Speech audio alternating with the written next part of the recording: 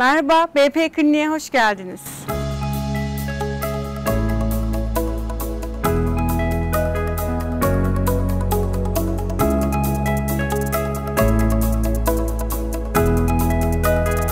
Radyo cerrahi biz daha çok e, küçük tümörlere uygula, uyguluyoruz.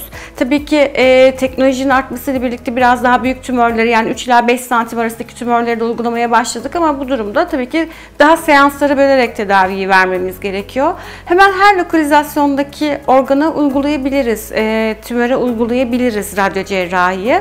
Ama bizim en çok uygulamayı sevdiğimiz, günlük pratiğimizde de en çok e, gördüğümüz hastalar e, beyin tümörleri, e, prostat kanserleri, akciğer tümörleri e, ve pankreas son dönemde çok e, özen, e, önem kazanmaya başladı.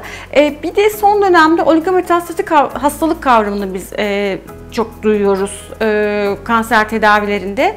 Oligometastatik hastalığı şöyle özetleyebiliriz. Önceden biz bir veya birkaç tane tümör metastazı gördüğümüzde hastanın kür, kür şansı olmadığını ve kesinlikle palyatif e, dediğimiz kemoterapiye yani hastaya birazcık zaman kazandıracak, birazcık semptomlarını, belirtilerini e, yok edecek tedavilere yönlendiriyorduk.